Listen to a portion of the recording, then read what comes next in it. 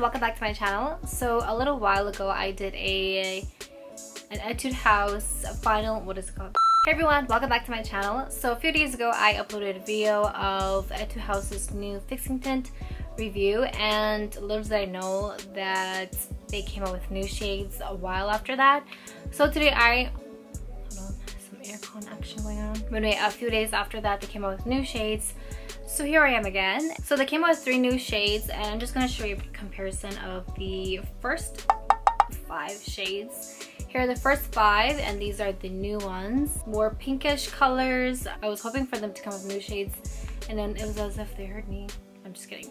But anyway, so this is the box packaging and these are the products. They're pretty much the same, just different shades. If you're interested in the first five shades, I will link it up here somewhere in the corner. Okay, so I'll just talk briefly about the packaging. It has this clear cap, it has the fixing tint and Etude logo on the side. It's this very soft and velvety type of texture on the bottle of the product, which is so smooth. When you open it, this is the brush. It's very.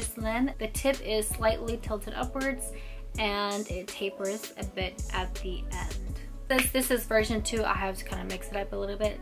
So today I will be doing a face mask test. Um, otherwise, other than that, I'll be doing my gradient and my Fulix. So let's get started.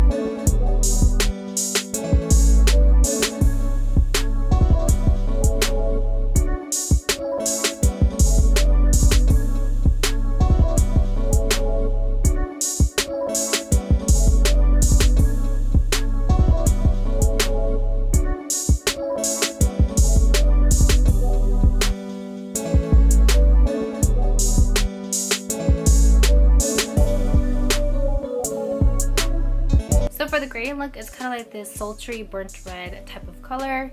I think it looks quite flattering, very feminine at the same time.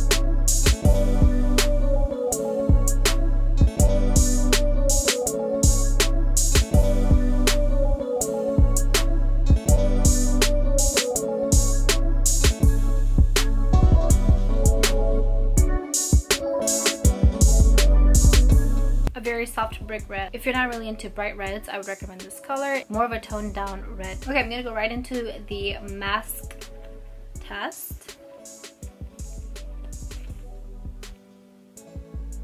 Is my mask and I'm just gonna pat it.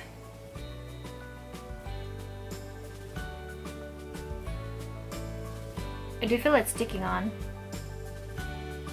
Oh,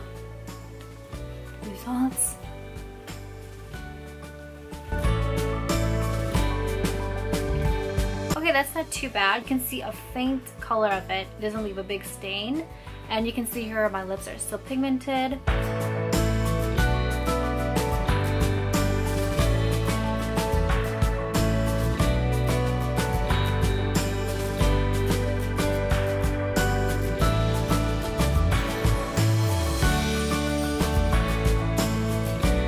Number seven, it is a classic pink color that makes your lips pop. There's no hues of orange, it's just a pink color that has more of a high saturation.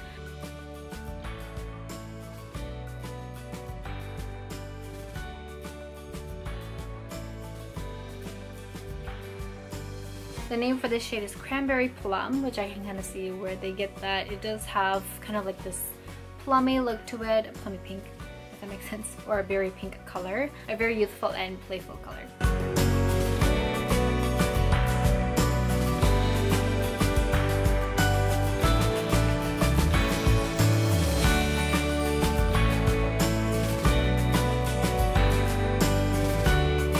This mauvey soft pink color.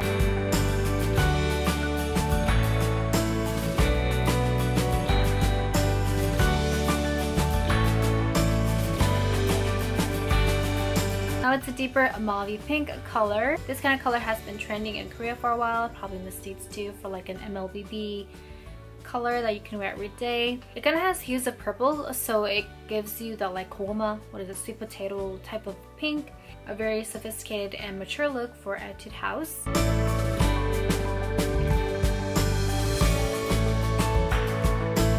So those are my swatches for the three new shades that came out. Thank you so much for watching. My battery's about to die, so hopefully I get the swatches in. but anyway hopefully you found this helpful if you'd like to see more videos like this do like and subscribe down below i see you in my next video.